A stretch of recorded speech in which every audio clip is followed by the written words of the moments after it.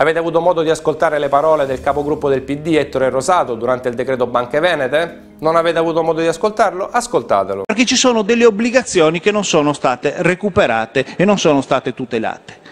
Allora, signori, quelle obbligazioni rendevano l'11%. Quelle obbligazioni rendevano l'11%. Chi va in banca e compra un'obbligazione che rende l'11% si chiede come mai rende l'11%?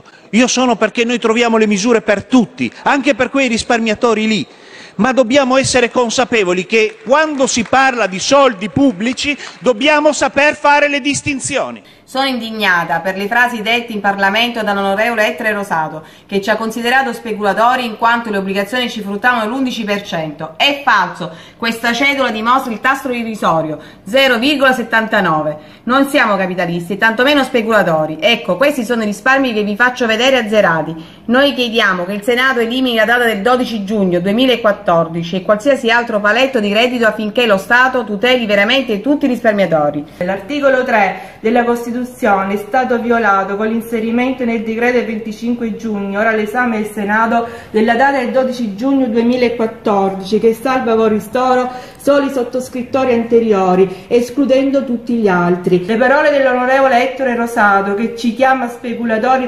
offendono la nostra dignità e onestà, in quanto le obbligazioni fruttavano il 2,15% e per questo chiediamo l'intervento dello Stato. Così come avete sentito, il capogruppo del PD dice che gli obbligazionisti speculatori, quelli che avevano un alto rischio in capo alla propria obbligazione e che quindi percepivano un, un interesse pari al 10 all'11%, non verranno rimborsate. Non è vero, abbiamo scoperto che ci sono obbligazionisti che hanno in mano obbligazioni che rendevano addirittura il 3% che a causa di questo decreto capestro che ha fatto il PD non verranno risarciti, i risparmi di una vita andranno in fumo. E allora vi spiego per bene cosa è successo. Noi avremo oggi due cittadini, il cittadino Mario e il cittadino Giuseppe, che hanno in mano la stessa identica obbligazione, un'obbligazione che gli garantisce un rendimento del 3%. 3,5%, quindi un rendimento privo di rischio. Ebbene, a causa di questo decreto, il cittadino Mario verrà rimborsato, il cittadino Giuseppe non verrà rimborsato. Perché? Perché il cittadino Giuseppe ha acquistato queste obbligazioni da Banca Nuova. Banca Nuova è una banca del gruppo Banca Popolare di Vicenza che nonostante fosse a conoscenza del fatto che a ottobre 2014 quei titoli non valessero più niente perché Banca Popolare di Vicenza aveva avuto dei risultati pessimi agli stress test della BCE, ebbene Banca Nuova dopo neanche 15 giorni vendeva quelle obbligazioni che garantivano il 3%, quindi non avevano in sé il vero, il reale rischio di, quel, eh, di quella banca, vendevano quelle obbligazioni ai cittadini ignari e quindi siccome nel decreto c'è scritto che chi ha acquistato non dalla banca emittente ma da un'altra banca, ma ricordiamo che Banca Nuova fa parte del gruppo Banca Popolare di Vicenza, anche nel logo sopra c'è scritto Banca Nuova, gruppo Banca Popolare di Vicenza. Ebbene, quei cittadini che hanno avuto che sono stati secondo me truffati perché è una truffa se non lo è si avvicina tanto.